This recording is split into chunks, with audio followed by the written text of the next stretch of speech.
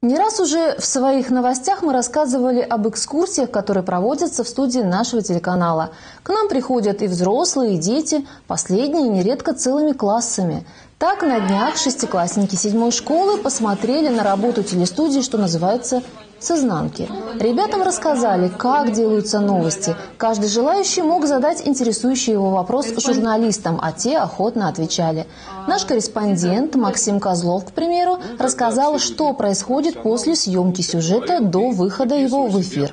После этого я сажусь, пишу непосредственно текст, вставляю в него интервью, вставляю свой закадровый текст, потом я начитаю. После этого я отправлюсь в монтажную комнату, которую вы уже все видели, начитаю там текст, и с монтажером мы уже сделаем то, что вы потом и ваши друзья, и ваши родственники будут смотреть по телевизору.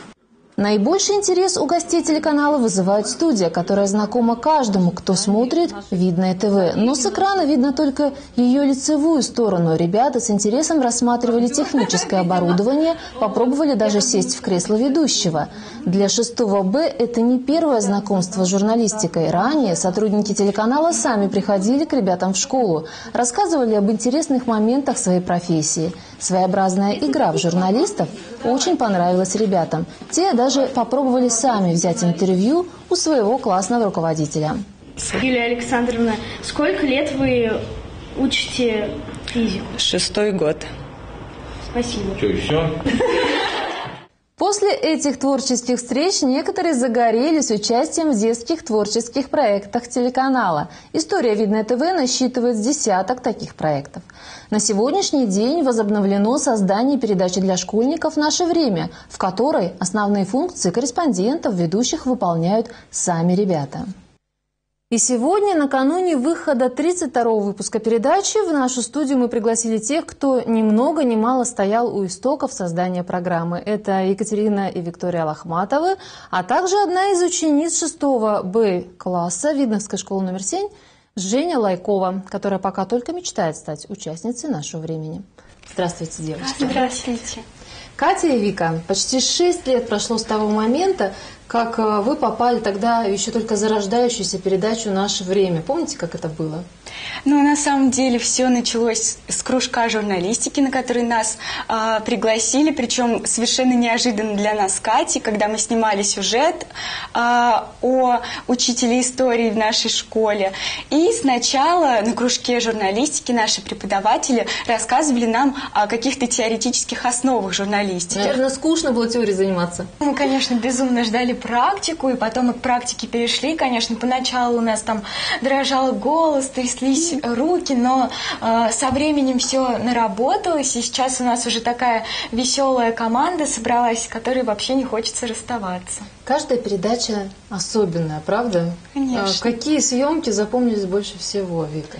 Ой, ну мне, наверное, больше всего запомнились съемки, когда мы снимали а, сюжет о профессии стилиста и решили нам с Катей сменить прически.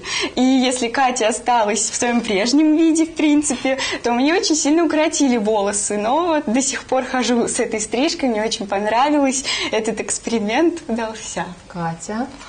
Ой, мне, наверное, больше всего запомнилось, когда мы э, э, снимали подводки о пейнтболе играли всей командой, и там же, в этот же раз, мы э, съезжали с канатной дорожки с высоты трехэтажного дома, наверное. А я очень боюсь высоты, это было очень страшно, я это запомнила на всю жизнь. Вы видите, какие впечатления. А, сегодня команда нашего времени, хоть и небольшая, да, но проверенная нашим временем. Жень, ты тоже хочешь к нам присоединиться, насколько я знаю. Что тебя тянет? А, я очень долгое время смотрела, как ребята ездят, ходят в разные места, как они веселятся. Очень интересно. И мне очень захотелось а, а, сейчас и в будущем связать свою жизнь с журналистикой. Ну что ж, девчата, принимайте Женю в свою команду. Я думаю, что со временем она станет действительно вашей частичкой. Ну, а я напомню, что в гостях у нас были юнкоры Екатерина Виктория Лохматова и Евгения Лайкова. И не забудьте, в пятницу на телеканале Видное ТВ выйдет новая передача «Наше время начала» в 17.15. Не пропустите.